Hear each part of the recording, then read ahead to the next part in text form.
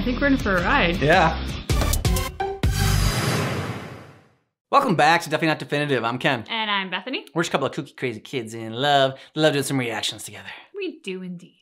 And so we're checking out Doom Eternal, and uh, this is one by uh, Max Zero R. Uh, it's a channel that we've been told to check out. It's his review of Doom, Doom Eternal. It's Doom Eternal review, Alpha Male Gaming. So I heard it's really funny. I heard it's uh, you know we've uh, checked out some stuff from Doom before, and yeah, so finally gonna check it out and mm-hmm. see what's up with it. Let's do it. Let's do it. And if you want more Doom reactions from us, go ahead and check out the description of this video. We got a playlist there for you. I swear to God, if you throw me into that portal, I will fuck you. you were never one of us. You were nothing but an imposter. Oh a false crewmate. Oh the hell? I don't know. Oh. Oh, wow. Okay. Doom Eternal is a game with so much testosterone dripping from its orifices that it caused me to create a son via mitosis. In this adventure, you play as John Doom, a man stricken with irrationally severe autism who does not consider or think through his actions and effects on other people. And in his quest to save mankind, kills God, God God, and Satan God God, who is also himself. If this Oh. in-depth and engaging hardcore male gameplay sounds appealing, then I've got the Anime. game for you. This game is of course the sequel to the critically acclaimed Doom 2016 with a few key differences. All right then, buddy. I'm going to shit yourself.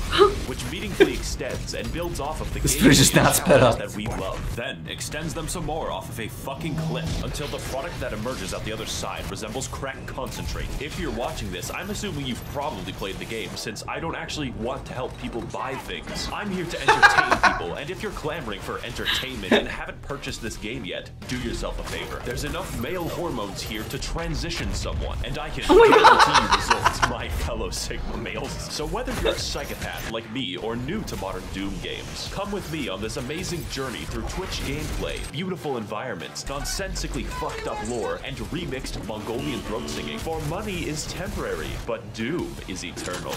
All right. All right, I think we're in for a ride. Yeah.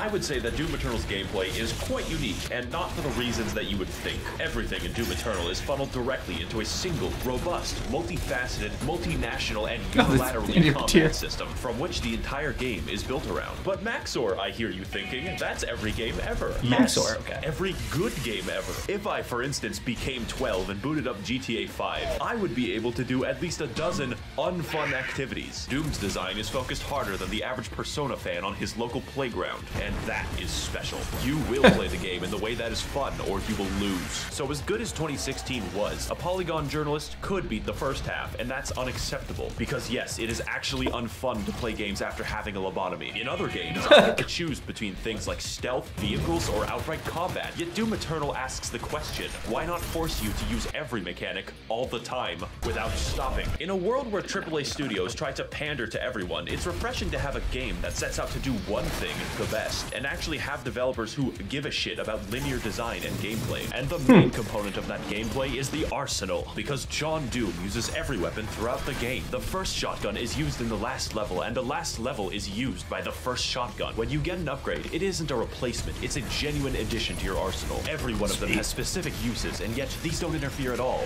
They enhance. How do I kill an enemy? Well, shoot his hands off, fire a rocket, fire a ballista, fire flame, freeze him, fire fire on his freeze and froze shotgun, shotgun, brain aneurysm. Just as important as how you kill is how you heal and how you restore. Fortunately, the aggression of this game rivals my dog in a kindergarten. Like real life, the only way to get ahead of the competition is to kill them. How do I heal them low? Kill them. How do I get ammo back? Kill them with a chainsaw. Oh my god. Most weapons in the game have two mods which completely change their behavior. Such stunning examples would be the microwave beam, the automatic shotgun, and the fucking destroyer blade. God, that shit's cool. But on top of 8 weapons, 12 mods, and a declining mental state, we keep going. More than any one weapon, you'll be using your suit abilities, and they all have individual buttons. This is in addition to the 8 that you use for weapons. These would be things like zoom for fast, grenade for death, Swedish grenade for life, punch for no reason, and a flamethrower for armor. I play Invoker in Dota 2, and this shit makes me play my keyboard like it's a fucking Moonlight Sonata. I thoroughly recommend playing PC and never using the weapon wheel for maximal Ritalin output. And if you can't switch weapons fast or play on easy mode, That's fine, man. We're all busy. How about I give you two more buttons? You thought I was done. There's two ways to play in Doom Eternal: the fun way or the funny way. And to maximize the funniness level, we have the Crucible, which is a direct, instantaneous kill on every enemy. Giant area boss, dead. Previous area boss, dead. The final boss, fuck 'em. Now I hear you thinking, Josh, that sounds pretty strong. Oh boy, buckle your ass. Because the second super weapon on my extensive list of two things is the BFG, which canonically stands for Big Fucking Gun. Hell yeah. Also canonically, it fires a hole directly into the core of Mars. You can't just shoot a hole into the surface of Mars. Now, I could kill an enemy the long way, or I could kill him and his dog faster than the ATF at Waco. It clears out Oh! everything you can see instantly. I am so thankful the game limits how many times you can do this. Now, I understand that at first this may seem complicated, but that just isn't true because the entire game is effectively a tutorial for hard mode. And because you're always learning as you play, it never feels stale. Doom even lets you choose what stats and runes to upgrade. I spec entirely into mobility and ammo, making my character a flimsy, crack-addled spider monkey. As a side note, we should release dozens or possibly hundreds of macaques into New York City. They can survive there. Why does Thailand get to keep all of the good monkeys? So what more is there to learn about Doom Eternal? Well, have you ever given thought to the various unwashed baboons that I'm fighting? The answer may shock you. Those are the...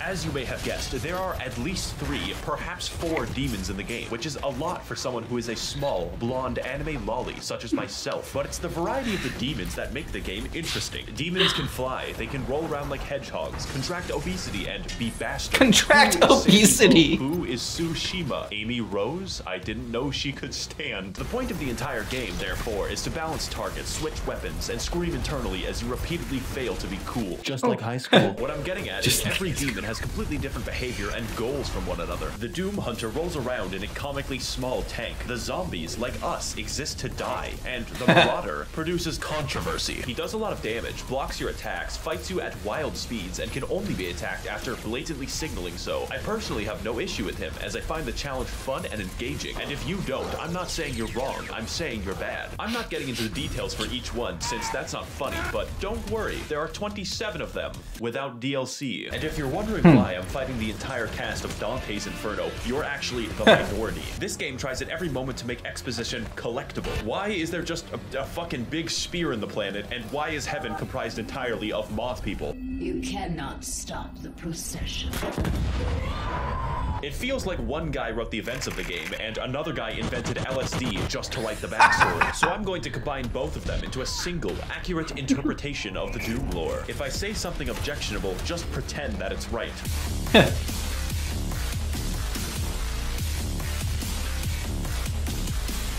One Brazilian years ago, there was a guy named The Dad who was effectively God, and he made moths in lamp heaven called the Makers. Every 10,000 years, all moths combine their collective consciousness into one giga moth called the Khan Maker, who is the Moth Pope. So the moths rule over the galaxy, sort of, until Earth happens, and then we start fucking everything up. The Moth Pope finds John Doom after a spree of murders, and he explains to her that yes, hell exists. It's weird that humans knew about hell before God. Anyways, the Moth Pope, after finding out that hell is real, very reasonably decides to sacrifice a planet to it. See, it turns out that God literally pieced the fuck out like 10 million years ago and let the moths do whatever they wanted. So now the Khan Maker cannot be replaced and cannot die, so she sort of goes insane from the constant immortality. Now the plan is to get some of that sweet hell energy by repeatedly sacrificing entire planets to the Dark two. Lord in exchange for it. Meanwhile, a sentient robot named Samuel Hayden is very busy on Mars. Earth has this problem called climate change, and we need to find a new energy source. So instead of something hard and difficult like solar power, Samuel Hayden is like, what if we extract this cool blue energy from hell? Also, it's on Mars.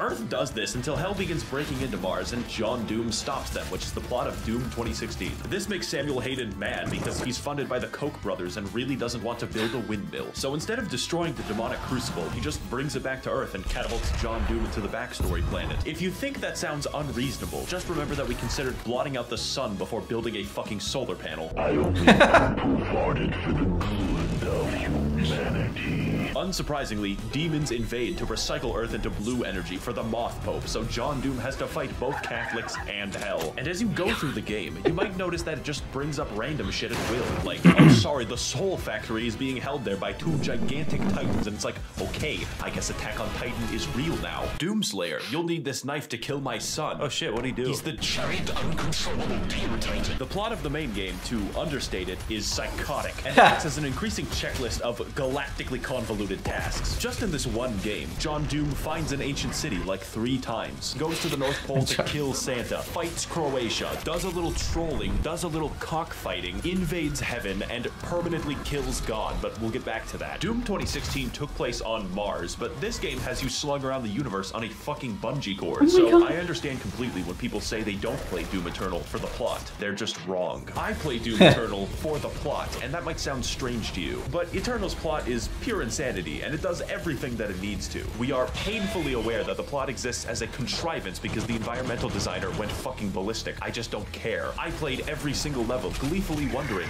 oh boy, what stupid shit is next? I cannot fucking wait. So play the game for the plot. It is integral to the experience of Doom Eternal. Oh, but Max, or there's a plot hole. How did the Doomslayer get the first?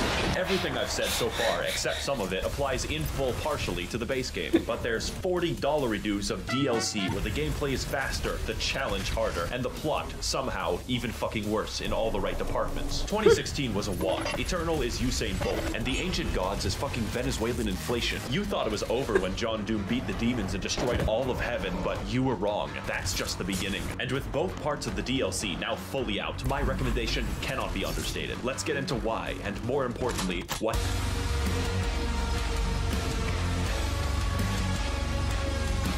This section of the video is going to be different, far more structural, and aligned with the plot of the DLC. Because the gameplay isn't what's new about the product, it's the challenge and the story. I originally wrote an entire script for this and then trashed it because it doesn't truly communicate how this DLC drove me to insanity, and I hard cope by simping for 2D women. I will tell you if there's a very big gameplay change, but the point of the DLC is more of what's amazing. If you like Doom Eternal, you will like the DLC. Period. Okay, so Samuel Hayden, you might know him for his various appearances on political YouTube debates advocating for carbon positivity. It turns out that he's not a robot, he's a fucking angel. Also, John Doom's Alexa is God. That's not a joke or exaggeration. His name is Vega, and he is the physical remnant of God's consciousness in AI form. So Samuel, now a fucking divine being, wants you to revive him since both God and Satan are trapped in volleyballs. At this point, the video can't count as spoilers because it makes no fucking sense. The first DLC is essentially trolling because you kill God. Why? Well, obviously to revive Satan, exclusively so you can fight him. What could go wrong? Of particular note here on the gameplay side is the final boss, who is Samuel Hayden. Because holy shit, this fight is hard. Also, the premise is ridiculous, and my enjoyment of the game is hurt by neither. Every aspect of this is speedy, fun, and everything else I've already said about the game in general. And when you finally beat Samuel and revive the Dark Lord, it turns out he's you. Yeah. The only thing in the world that could possibly kill John Doom himself. Okay. Blood can be seen. Uh-uh. This holy blood.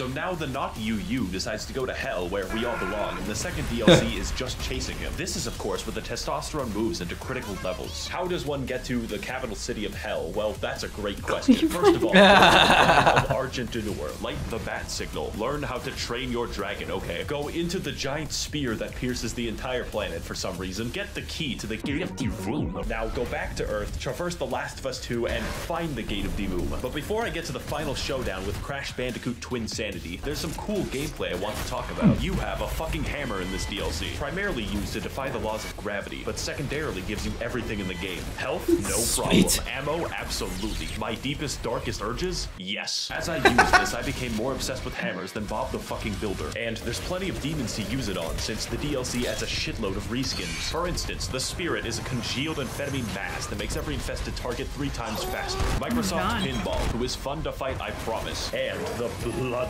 makers. They are my original OC. Do not steal it. So now that we've reached Cleveland, it's time for the DLC to gain style.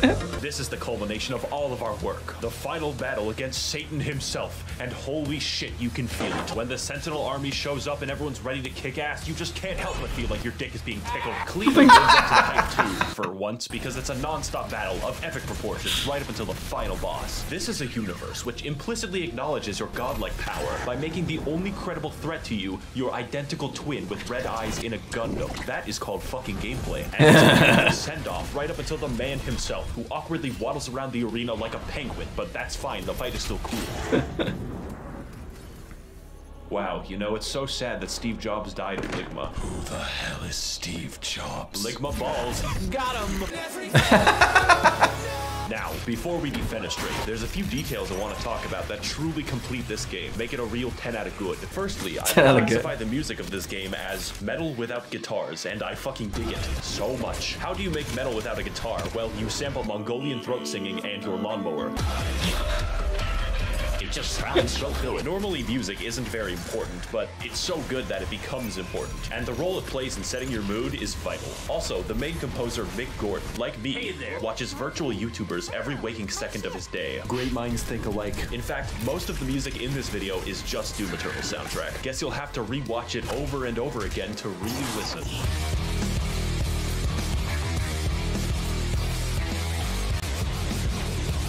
This game looks really good. Not in a, oh wow, look at all these particles I'm stroking out way. It's more like, how does literally anyone have time to model all of the geometry in the game? It is unreal. it is so downright inspired that it makes you feel bad while playing it. Doom Eternal is such a fast and pulse-pounding game that it's like sprinting through the fucking Louvre. How am I hmm. supposed to appreciate the Mona Lisa when it looks like this? Should you buy the game? Yes, I am very biased. If speed and action is what you crave and you want to induce cardiac arrest early, this is your game. I would like to thank the Demonic Brotherhood funding this channel in exchange for their souls. If you would like to engage in blood sacrifice on my behalf, you can head to my Patreon to learn more. Thank you all for watching, and of course, run, they're coming.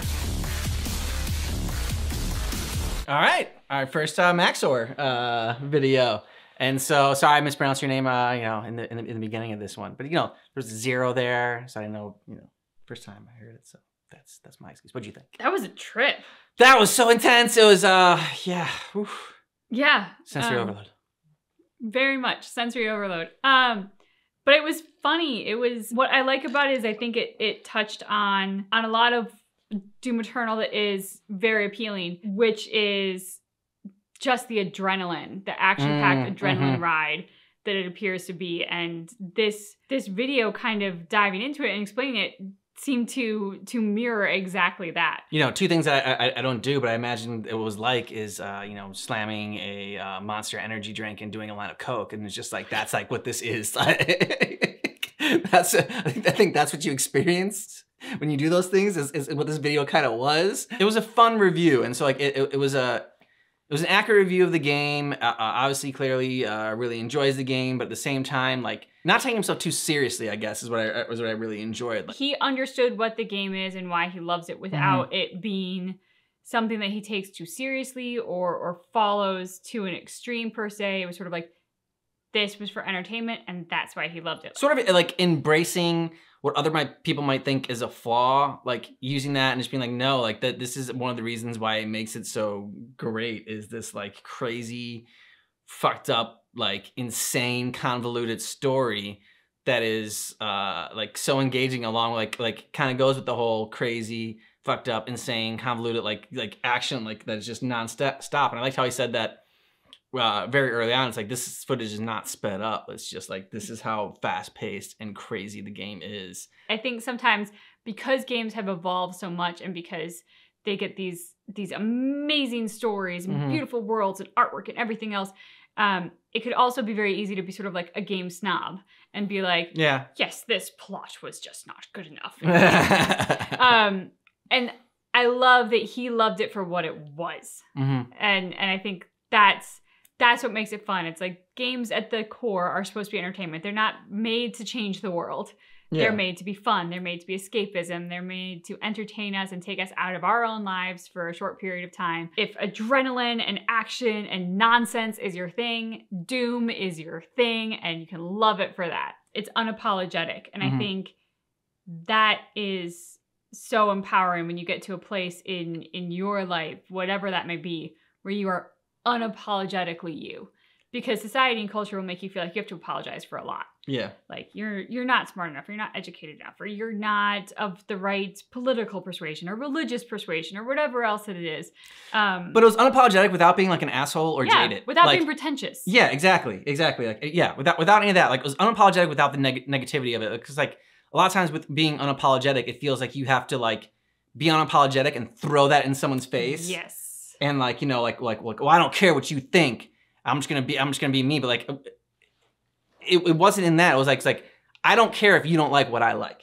Yep. I still like it, and I still like it for what it is, and I still like it for the reason. And the reasons that I like something, like, can't be diminished. Like, you can't diminish what I, you know, the reason that I like this game. Like, you know, I like it for its crazy plot. I like it for its stupid plot. I like it for the, the insanity. I like it for the violence. I like it for the, you know, for the fast pace of, of it, of it all. You know, and like things that you might think that like, you know, like like are are are knocks against it, whatever. I still I, I like it for those reasons. And if you know you don't like it for that, okay. But like this is why I like it, and like I'm not gonna apologize for that. That's what I like about the unapologetic. Sorry, I cut you off. No, no, no. I, I think that was I think that was great. Um, I think it was Eleanor Roosevelt who said no one can make you feel inferior without your consent. Yeah. And like, yes, Eleanor Roosevelt, great quote. Loved the spirit of the thought, but throughout most of your life, it's gonna be really hard not to grant that consent. Mhm. People are gonna make you feel a certain way that then you're gonna feel misfit or out of place or whatever else it is that you are subconsciously and immediately granting consent without even wanting to because nobody wants to feel bad um, and so i think the most attractive place that you can get to in your life is when you are unapologetically yourself but Mhm. without having to prove yourself There to is. anyone or anything There it is. Well you said. you you are yourself you love yourself you embrace yourself in all of your wonderful imperfections because that's what makes you you Yeah. and that is a great place to be. I don't know who actually gets to that perfect point in their life, but God, I hope I get there someday. I, I, think you're there. I think you're there, and I think that's uh, well, also part of the uh, unapologetic thing is that like you know just not let yeah not um not letting other people's ju- uh, uh, judgments get to you, and uh you know but at the same time accepting other people's judgments, like you know accepting the fact that other people are are not gonna like the same things you like and are not gonna like you know you and are gonna judge you uh, like I mean, and, might judge you based on that, but like you know kind of like I don't know accepting the fact that like that doesn't make them like necessarily like a terrible person because they don't like Right. the same things you don't like or because they or, or even because they judge you like you know i mean it just it happens but uh I, I love videos like this that make us uh get into these kind of conversations and think more than just i mean it's a video it's a video game review all right but like it was it was done so well that it like it sparked Yeah. these conversations within us and uh that's why i thought i think it's a, it's a great video I think that's really well said. And I think the what makes it so fun and interesting to interact with our community, to check out these different videos,